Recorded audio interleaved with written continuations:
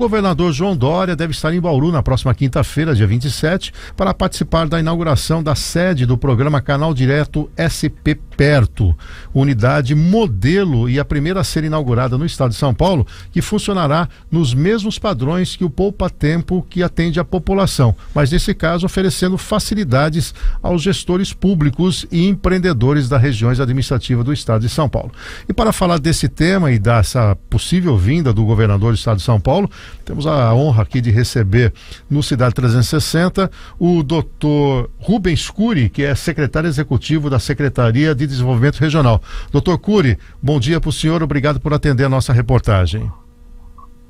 Bom dia, Café, bom dia a todos os ouvintes da 96, esse programa aí que traz muita informação a toda a nossa região. É uma alegria estar aqui com você e poder é, comentar sobre essa visita do governador a Bauru na, na quinta-feira. Conosco, conosco aqui na bancada também a jornalista Lorena Fagundes.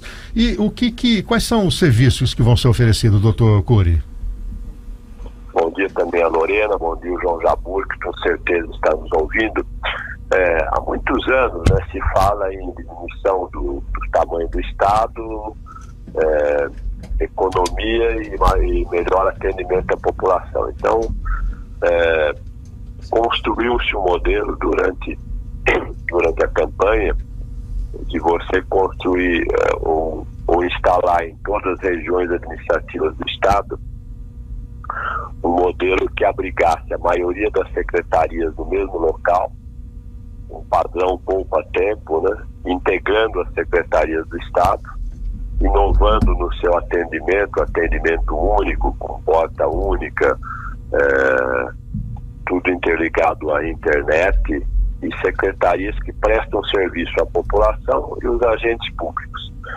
Então, é, optou-se por Bauru, no momento de escolher a primeira qual seria, até foi interessante é, que a gente indicou Bauru, pelo fato de ser o coração de São Paulo, até o Rodrigo, vice-governador, brincou, mas por que não Rio Preto, né?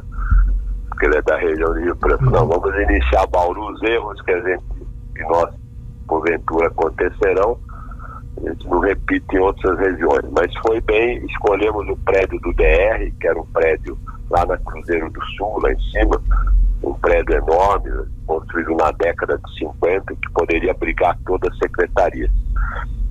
Então foi construído com um padrão muito moderno, que é, eu, eu, convido até vocês a participarem lá na inauguração, uma visita posterior, porque realmente é, abrigará 13 secretarias, tem uma ideia, secretarias importantes que atendem a população, CDHU, o DAE, CETESB, PROCON, Secretaria do Meio Ambiente, a Secretaria da Agricultura, e também lá haverá um consultório para atendimento dos funcionários públicos do IAN. IAN é o Instituto de Assistência Médica aos funcionários do Estado.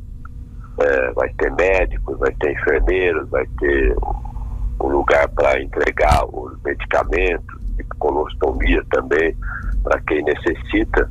Então, com atendimento muito ágil, muito moderno e muito eficiente. e além disso. Oi, perdão, pode concluir. Pois, não, e além disso, o, o Café que gosta muito dessa, dessa da otimização e diminuição do Estado com melhor atendimento, então nós uhum. sairemos de alguns aluguéis que o Estado é, gasta em Bauru, então um milhão de reais em economia em aluguéis.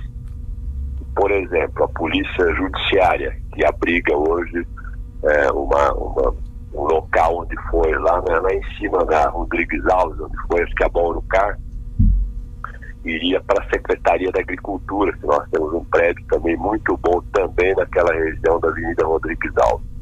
Então, além do atendimento muito ágil, moderno, economia também para o Estado e melhor, melhorar o atendimento à população uso mais eficaz, né, eficiente do recurso público. Lorena, por favor. Exato, sobre a questão do recurso público, Curi, qual foi o investimento para conseguir implantar essa unidade aqui em Bauru e qual é a projeção de vocês para atendimento da região?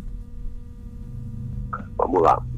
Na, na reforma desse prédio, aproximadamente 10 a 12 milhões, eu não tenho esse valor exato, mas é nesse, nesse valor de 12, 10 a 12 milhões. É, trabalharão lá 270 funcionários é, e atenderemos toda o nosso, a nossa região administrativa, 39 municípios que compõem a nossa região. E o projeto deve começar exatamente quando, doutor Cury? Então, inaugura quinta. É, tivemos um problema essa semana nos cabos da Prodesp e da Vivo. É, implantação completa três a quatro semanas já está funcionando totalmente. E está confirmada a vinda do governador Dória ou é uma vinda possibilidade?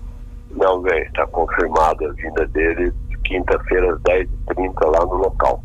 E mudando um pouquinho de assunto, é óbvio, aproveitando a, a sua proximidade com a nossa cidade, eh, transita no governo há muito tempo, com bom, excelentes serviços prestados na região, em Pederneiras.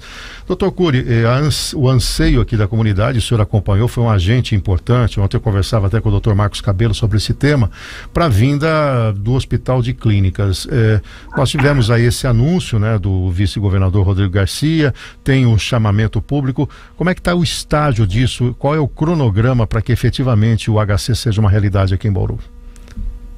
Exato. Tenho falado muito com o Marcos Cabelo, que é um ouvinte assíduo aí, participante do, do programa de vocês.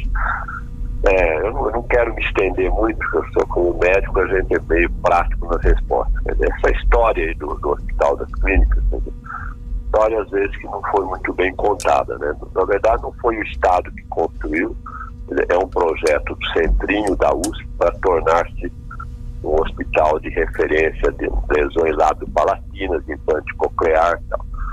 Vamos construir um hospital além das necessidades, depois evidentemente que foi visto isso, e não teria condições de, de manter o custeio.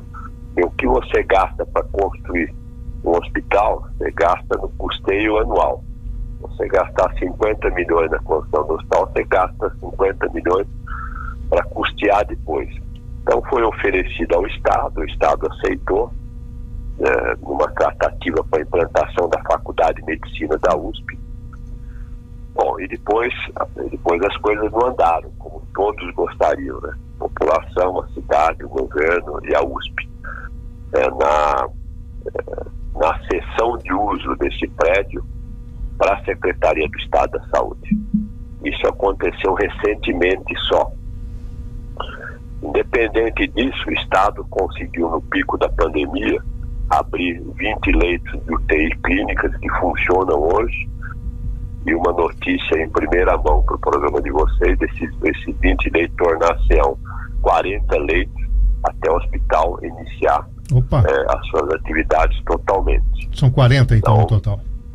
Hoje funcionam 20, serão para 40, porque o hospital, o hospital será é, cento, aproximadamente 180 leitos, um hospital de média e alta complexidade, é, com 20 leitos de UTI.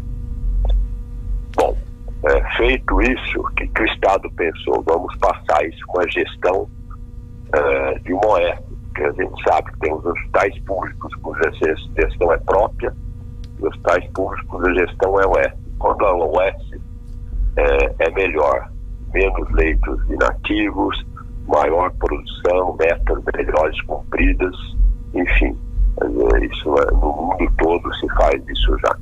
Então abre-se agora, abre há um decreto a ser publicado nessa quinta-feira, é, abrindo o chamamento público para a UES se habilitar a tocar um hospital muito complexo. Então, o que a gente espera? Que uma OS de nível de excelência e a gente sabe que duas ou três OS de excelência vão pedir habilitação para fazer essa gestão. A FAMESP, a Fundação Faculdade de Medicina, que toca em São Paulo, a Faculdade de Medicina da USP, e o ICEF, Instituto do Câncer do Estado de São Paulo, e outras, né, porque isso é aberto. É, que possa, porque é um hospital que, além do hospital assistencial, será um hospital de ensino também. Abrigará os estudantes de medicina da faculdade da USP e abrigará ainda aquele prédio anexo do Centrinho. E só para tranquilizar os funcionários do Centrinho da USP, os funcionários continuam sendo, continuarão sendo funcionários da USP, com a folha de pagamento da USP, isso daí não, a gestão do hospital pela oeste, mas a gestão é, do hospital e da parte, da parte educativa, da parte de ensino. Né? O RH continua normal com os funcionários da USP, só os funcionários contratados pela OES, que é outro vínculo trabalhista. Doutor Cury, só para a gente finalizar, porque é uma questão muito importante para a sociedade bauruense, qual é o prazo que o governo trabalha para, de fato, o HC começar a funcionar plenamente na cidade, com a publicação dos editais, as empresas interessadas? Qual é a data? Porque as pessoas estão preocupadas com isso. A data de que esse HC deve, de fato, começar a funcionar na cidade? Tá. Então, após a publicação, ao interesse das, das organizações sociais, o governo tem 60 dias é, para definir isso e a partir daí a organização social se instala no hospital e começa a modelagem para o funcionamento. O governo, o governo espera, espera que até junho isso daí já esteve resolvido e o hospital funcionando plenamente. Ou seja, esse então, ano ainda, terminando o primeiro semestre, nós já teríamos aí o hospital de clínicas funcionando. É. Olha, só para encerrar, estou à disposição, a Lorena e o Café, é, Bauru, quer dizer, eu sou médico, conheço um pouco todo o estado e a região. Bauru é uma cidade, por mais problemas que possam estar acontecendo aí na saúde, é uma cidade que você tem é, cinco hospitais públicos cuja gestão é do Estado. Hospital Estadual, Maternidade Santa Isabel, o Hospital, o Hospital Manuel de Abreu, que vai ser importante para a cidade, para a região. O Hospital Manuel de Abreu vai ter uh, internação de doentes prolongados, esses AVCs, infartos, insuficiência cardíaca, que precisam de muito tempo de internação, sairiam do Hospital Estadual para ficarem lá e abririam uma vaga para o Hospital Estadual. E o Hospital de que é referência em trauma, trauma, trauma craniano, trauma facial, a parte ortopédica, tem o Instituto Lauro de Abreu. Então, comparando com outras cidades, você pega Franca. Franca é uma cidade do mesmo número de habitantes de Bauru. Franca só tem uma Santa Casa. Uma Santa Casa para cuidar de uma região também muito grande. Então aqui a dificuldade, mas aqui você tem que valorizar o que é de bom aqui na saúde de Bauru.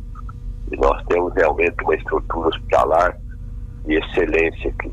Claro que tem demandas agora, teve uma pandemia, dois anos de pandemia, que tem de cirurgias atrasadas, represadas, que agora o Estado está correndo atrás com mutirões para que a gente possa atender melhor e cada vez mais a população que tanto necessita e estão deixando os planos de saúde pelo alto custo que se impõe na renda familiar.